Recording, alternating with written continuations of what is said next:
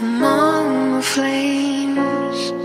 Honey, you're a shipwreck with your heart.